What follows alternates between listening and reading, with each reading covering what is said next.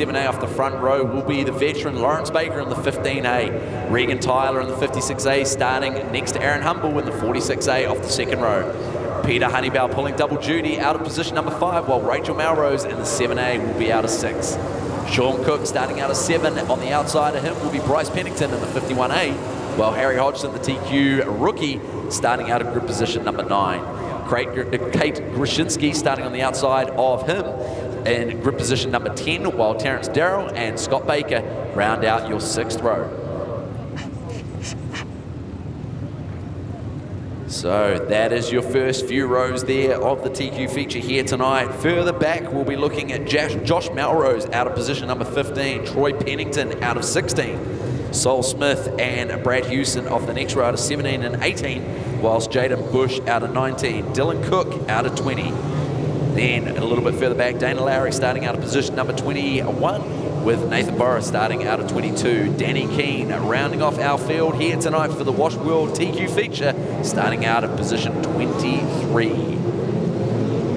So as we see drivers getting gridded up, it's the fast man Morrison. He was quick here on Boxing Day, and equally so Lawrence Baker. So these drivers duking it out for the COVID Cup. We saw the silverware down there with Nick at the desk, and uh, this is what this title race is being named. It's the COVID Cup here for the Wash World TQs here tonight. So it's a fast looking first few rows. Look out for the man with his elbows up here tonight, Lucas Oil Speedway, the 39 Harris Race Cars machine and Peter Honeybell. He'll be starting out of position number five on the inside, but not without a battle. That's a fast looking first half a dozen rows there, but a man who's going to be putting up his elbows to try and keep these young guns behind him. Lawrence Baker, as we see the Giltrap group, VW Amarok pull off the track. Our pace setter, Lawrence Baker on the outside, Ben Morrison to his inside, and we're going to be going green next time past the flag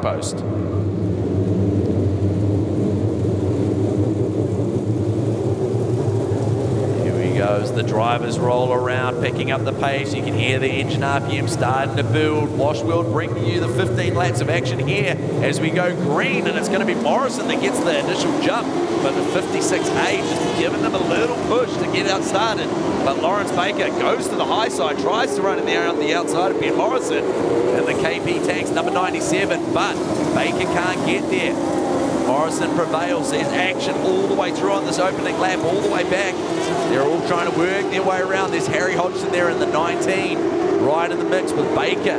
Troy Pennington's in there as well, so keep an eye on the 4A, trying to work his way through. He's had a tough night. And there's the man that we said early on would have his elbow up, that 39 of Peter Honeybell. But this is that battle pack. So we've got the 51 in there as well, Bryce Pennington.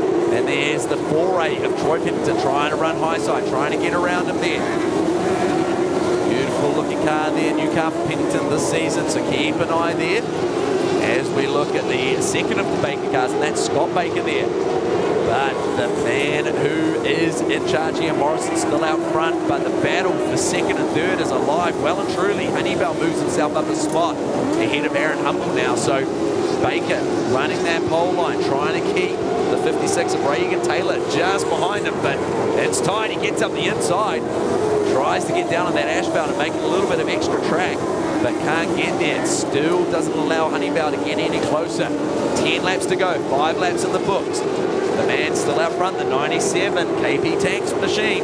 Ben Morrison doing a great job. Regan Tyler tries to get in there once again. Can't quite get it. Gets all out of shape. Allows Honeybell to get a bit of a run.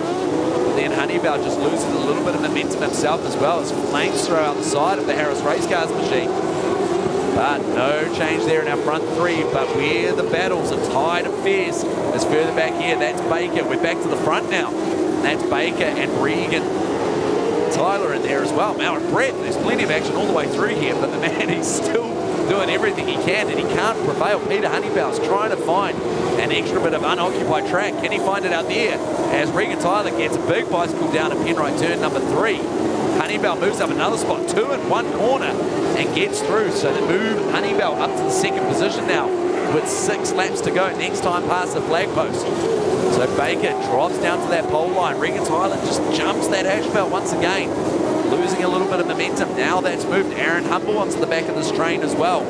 So keep your eyes forward, Humble. These guys are loose, they're fast, but you got to keep your eyes up to try and pick your way through them, just like we saw from Peter Honeybell with only five laps to go. As we see Danny Keane pull to the infield now for the 71A Keane Composites machine. But now we've got Morrison. He's on the back of the lap traffic. That's going to slow down his momentum. Is that going to close up Honeybell onto the back of him? So far, so good for Morrison. But 97, this is our man on screen. He's out front by a country mile, four laps to go. He's on the back of the 32. That's Sol Smith now. That pink NZHL machine. He's going to try and get up the inside. Sol Smith leaves the door open. Is he going to let the leader through with three laps to go around Lucas Oil Western Spring Speedway? No one can touch this man. Honeybell not even yet into the lap traffic with two laps to go around the speedway here as Morrison gets up the inside. Once again, Sol Smith, that's 21 in there as well. So Dana Lowry definitely not making life easy here for our leader, Ben Morrison. Getting right in there. Next on his mission is going to be the eight. That's Dylan Cook. He doesn't know there's no rear vision mirrors in these machines, so work cut out for Ben Morrison. Last lap of the Wash World TQ feature. The COVID Cup brought to you by Wash World as our leader comes around to take the checkered flag here tonight at Lucas Oil Western Springs Speedway. Tight battle all the way through. I'm not even going to attempt who was second, third, and fourth in this one. But our leader, it was obvious. He dominated here. And the KP Tanks, number 97 of Ben Morrison, takes out your feature here tonight. There it is, right on cue, Wash World TQ feature results. And as we confirm, the win goes to Ben Morrison in the 97A. Peter Honeybell takes out third position after a hard-fought battle coming through from position number five. Regan Tyler in fifth, great drive. Aaron Humble having his work cut out, coming home in fourth. Scott Baker in fifth, while Lawrence Baker drops back behind his son. So great job to Scott, moving up into fifth position. So action aplenty in the Wash World TQ feature here. The COVID Cup will get presented to our feature winner here. And we've got Morrison making his way over to Graham Standring to get a couple words.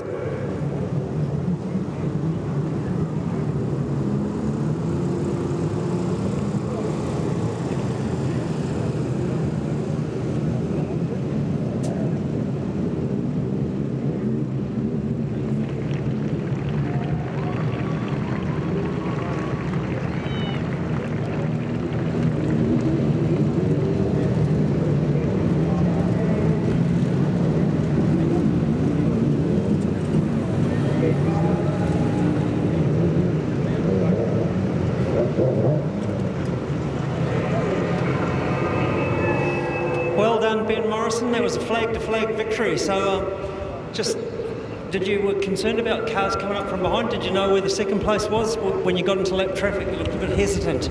Yeah, lap traffic was pretty hard out there. It's a it's a pretty hard track to pass on. It's pretty one lane out there, but um, this KP Tanks rocket was hooked up all night, and I can't thank everyone else for helping me out this year. Um, Gareth Insey and the Insey family, they've loaned me this awesome set of shocks, and Justin's done an awesome job of setting it up this year, and it's it feels like a different car compared to last year. And can't think everyone else enough. KP Tanks, Skywalker, Motorcycles, Promo Labs, Skips Blogging, First National Real Estate, JJ Fabrication.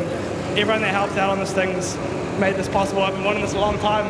I finally got it, so it's good. It is a long time between drinks. Um, you're quite a tall guy. In the cockpit of these cars, very small, so you, fold it up like pretty, um, like a half-open pocket knife. But it's, it's, you know, how are you going to get on? Are you going to grow anymore? Are you going to or move to midget? So what's your plan? Oh, well, you know, I think everyone's dreams to move into a midget car. It's just the, the funding side of it's really expensive, and a lot of a lot of fans know out there. But midgets are a lot of drivers that just run other cars, other people's cars. So really looking out for an opportunity, but I'm um, hopefully it'll come sooner rather than later. Okay, well Ben, well done on winning the Wash World um, feature tonight. I'm the owner of Wash World, so you need to go to either St Luke's or the two on the North Shore, um, one at Wairau and one at Albany. Yeah. Just a bit of a plug there. So. Certainly uh, well done and congratulations, ladies and gentlemen. The winner of the TQ feature, the Wash World TQ feature, Ben Morrison. Thank you, guys.